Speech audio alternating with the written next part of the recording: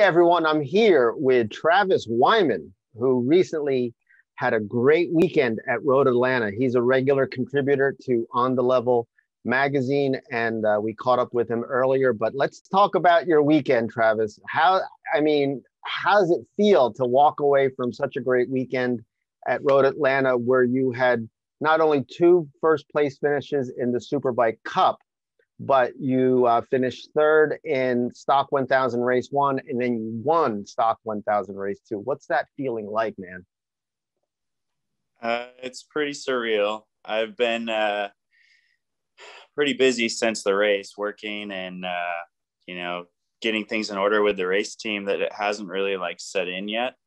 Um, it's pretty amazing to come away with you know a few victories, the points lead in both classes, and then also a new lap record. I mean, I had pretty high expectations for us going into the year because we got a ton of testing time, but um, I, it's hard to explain. I mean, I know now I have the target on my back because I'm, you know, up front in both classes, but I know I need to stay focused and work even harder because I know the rest of the guys are going to be uh, pushing for that top spot. Yeah, that that is so awesome, man. Let's talk. Let's talk about the races and talk about how the S one thousand Double R performed. So uh, I know in stock uh, 1000 you gridded uh, P2, but it looks like you had a little bit of a soft start um, in both races. Actually, you you ended you started P2 and you ended up going through chicanes in P5 or something like that. Let's talk about that those starts. So it's quite frustrating. We're testing some new uh, a new clutch package in our bike, and we kind of missed the setup a little bit with it. So my starts, uh, it was pretty unpredictable how the clutch was going to react. So um, we know what to do to fix it for the next round, but and I definitely don't want to make excuses, but I definitely got some horrible starts in the races, and it made my job a lot harder for sure. Um, but I knew we had a strong package, so I knew I could fight uh, for the win. But it took a little bit more effort in that first race to, to even get on the podium. So, yeah, you, uh, yeah, you, you had to really work your way uh, up into. Uh, you ended up uh, going through. You guys all went through lap traffic. Um, you had said last. You had said last last time we talked that the S1000 double R that you you favored the flat tracks like India, Indy, and Road Atlanta is not a flat track right? So you guys make some setup changes to make the bike work better and uh, rises and, and, declines and stuff like that? Absolutely. Um, going into last year, it was a learning year for us with the new bike. So we were kind of shooting in the dark with our setups to begin the weekend. So going into Atlanta, we had a pretty good baseline to start at from what we learned last year. So right out of the gate in first practice, we were you know, first place by over a second on the whole field. So I felt really good about um, our setup. And really, I attribute it all to the testing that we did leading up to Atlanta. The weekend before Atlanta, the team and I, we raced at Buttonwillow. The weekend before that, we raced at Chuckwalla. So we were fully prepared and ready to, you know, to fight right out of the gate. That is awesome. And then you uh, you finished uh, third in that race, and you weren't that far from the front at the end, right? No, I, I said on the podium, I wish we had another five laps because I think I would have had a shot because uh, we were able to manage the tire pretty well. But I had to work pretty hard for for that podium spot because it was such a tight battle between me and a few other riders. So um, in Sunday's race, I knew that if I was more aggressive in the beginning, I could have a shot at the win, but I didn't think it would be such a commanding victory as it was, you know? So yeah. it was extremely re- rewarding. Yeah, you had you had so again race two on Sunday. You had another soft start that put you in fifth, but you had the mindset that you had to get up there faster than you did in race one. Yeah, absolutely. By lap three, I was in second place, so okay. I was pretty aggressive to make those passes.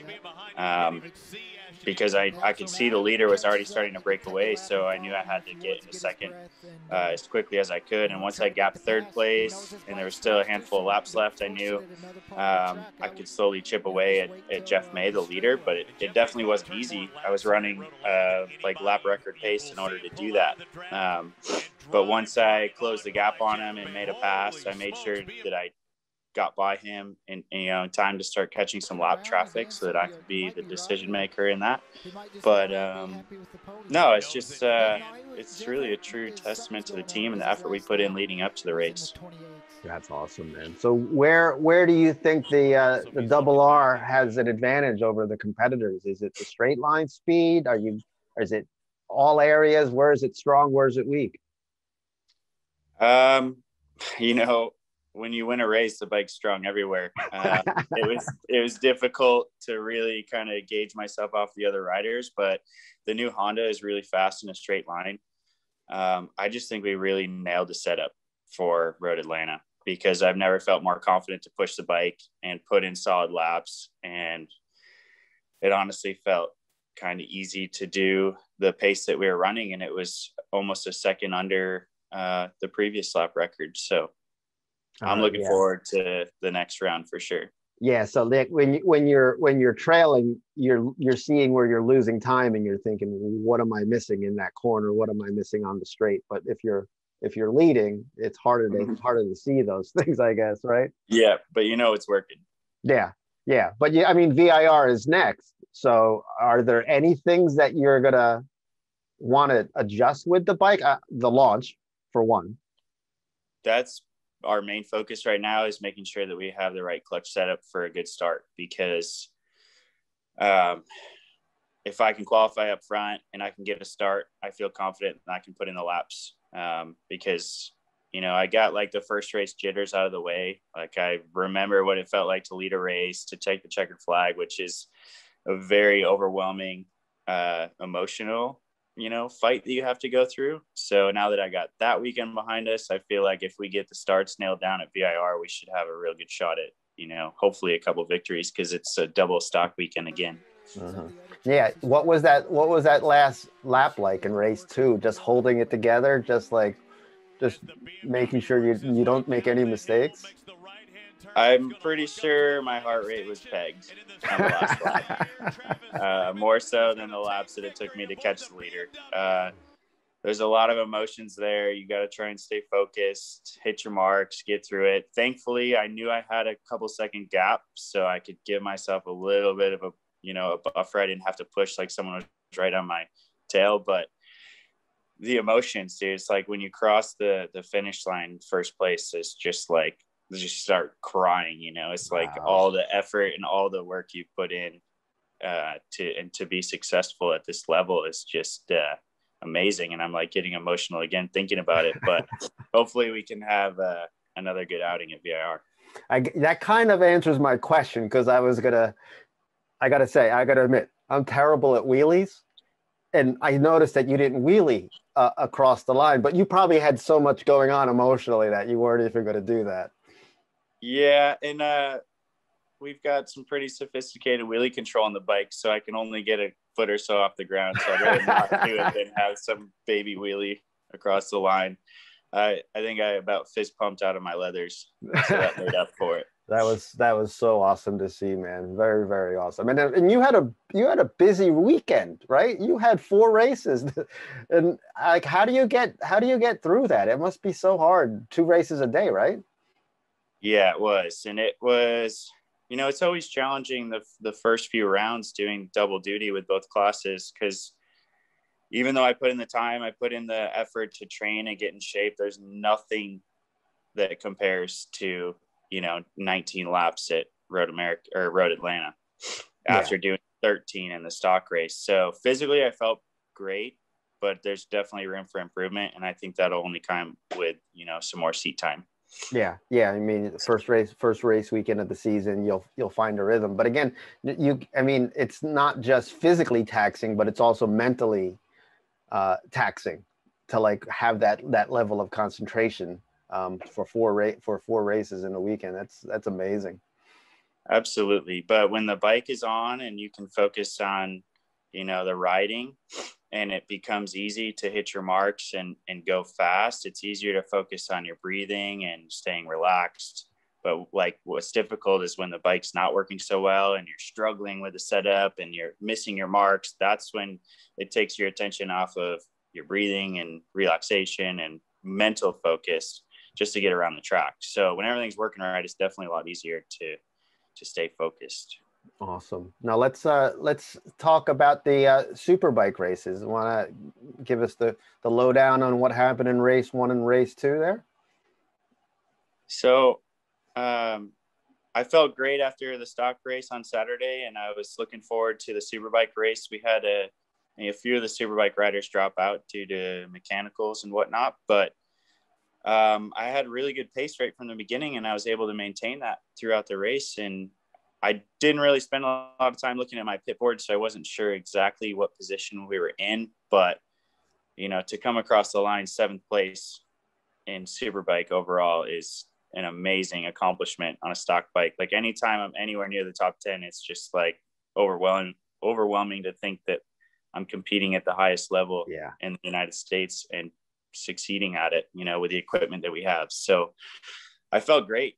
Um, and then really Sunday, my focus was just on the stock race. Like I put every ounce of effort I had into that stock race.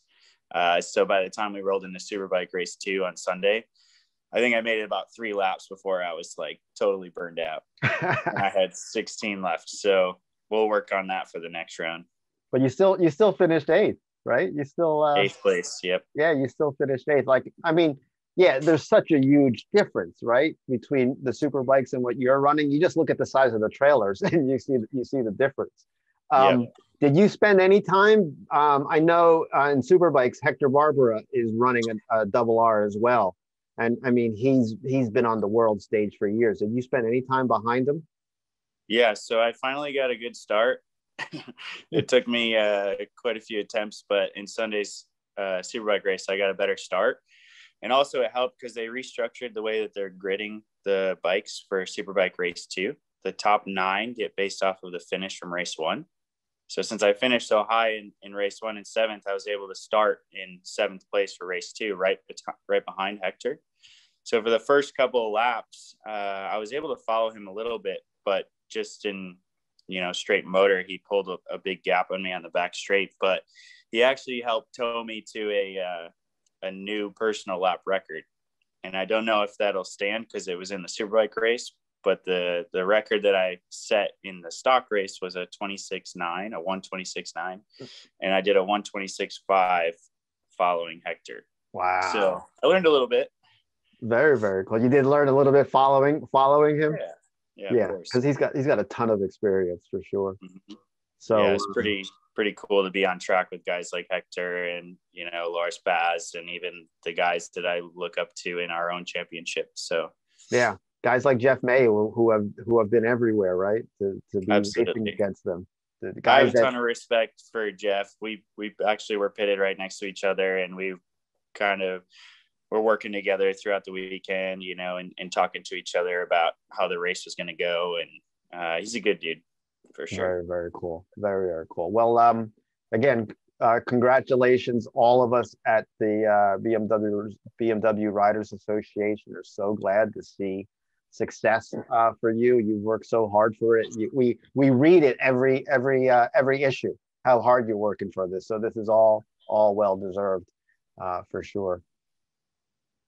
Well, thank you. It, again, it's a it's a team effort. I invested a lot of money and a lot of time this offseason to make sure we were prepared for the start of the year. Something we didn't have the luxury of being able to do last season. So with everything we learned last year, a ton of preparation, me being in you know pretty good physical shape, no broken bones this year, uh, I think we've got a really good shot at the title. And I I don't want to get too far ahead of myself, but I'm just going to stay focused and keep working hard and see where that takes us. So awesome. thank you. Awesome, man. Um, now let's let's uh, give you some time to do a shout out to the team and your sponsors. Yeah, so uh, I've had some, you know, some sponsors that have come back on board this season. I've had some new sponsors have jumped on this year. Uh, first of all, I have to fa- thank BMW. I have to thank my crew guys, um, Steve Weir from BMW North America, Alex Torres from Fastline Motorcycle Performance. Those are the two guys that solely work on my equipment. Um, my mom and her Harley Davidson dealership out of upstate New York. Um, the California Superbike School jumped on to title sponsor me for uh, Road Atlanta, and I was super happy for that relationship to continue. Irv Seaver BMW came on board uh, during the off season to help me out quite a bit. Uh, Apex Assassins is a track day company based out of Las Vegas. They're stepping up to help me this year. Uh, the umbrella of Helmet House, which supplies me with my suits are Cortec, Shoei helmets, Alpinestars boots. Uh, they've stepped up this this year as well. Alpha One Vinyl Works, Excelsior Solutions. Um, and there's a whole list of, of, people. And I've actually got some really cool things in the works for VIR about a potential new sponsor, which stay tuned for that. And actually, some really exciting news coming in the next month or so about my plans at Road America. So awesome. We all we all look forward to that. So this is awesome, man. So so so happy for you. Thanks. Uh, a few other sponsors I have to thank.